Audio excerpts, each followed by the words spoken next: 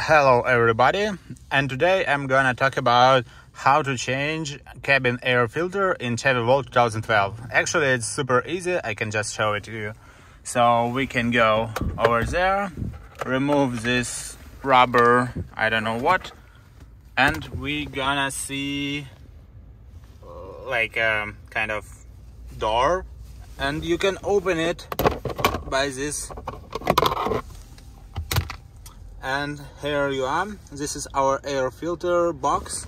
And we need to to open it with like open or ever clip at the right at the at the left. And um, at the top. And here you are. This is our air filter. And you can just you can just remove it now. Um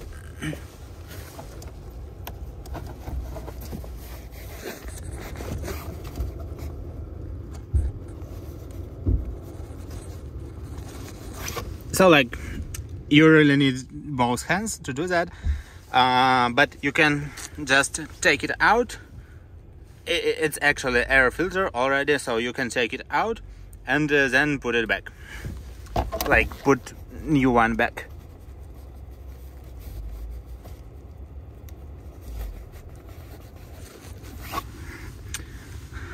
Maybe I told you like this is super easy. It's actually easy but I need to hold mobile ah yep.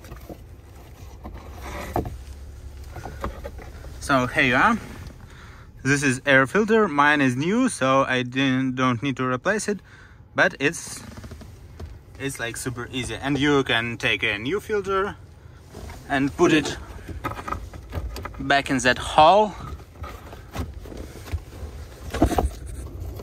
close it. Put back this plastic.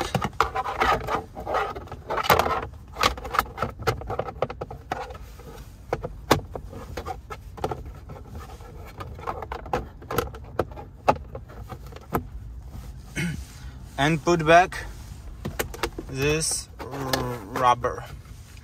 And that's it. You're good to go. Actually um, yeah, you're good to go. So please subscribe to this channel if you wanna know more about Chevy Volt 2012. Bye bye.